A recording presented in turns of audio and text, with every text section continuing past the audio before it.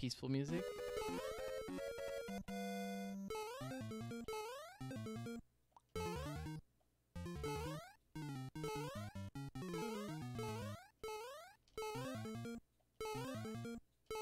There it is.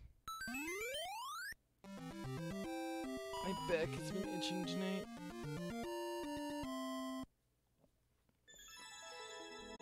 And that's gonna be in the